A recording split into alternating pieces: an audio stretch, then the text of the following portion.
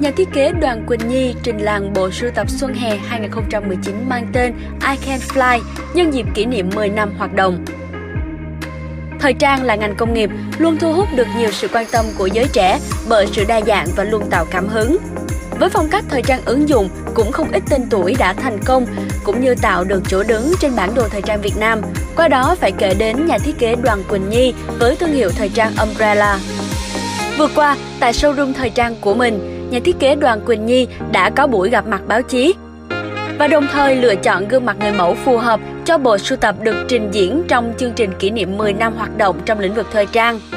Thật ra thì cái tiêu chí mà đối với cả cái casting model á thì thứ nhất là về gương mặt đó, thì uh,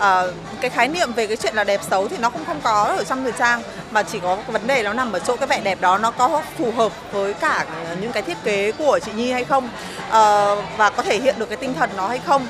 Bộ sưu tập lần này có tên gọi I Can Fly với tiêu chí nét đẹp của người phụ nữ như một lời cảm ơn từ nhà thiết kế Đoàn Quỳnh Nhi khi mà mọi người biết chị à, bên những cái thiết kế của chị á à, mình phải theo à, xu hướng nhưng mà chị muốn nó rất là à, tiết giản rất là tối giản à, cho nên là là chị chị muốn đúng cái chủ đề nó bay bổng và mọi người đều thấy có được cái tinh thần xuyên suốt nguyên cái bộ sưu tập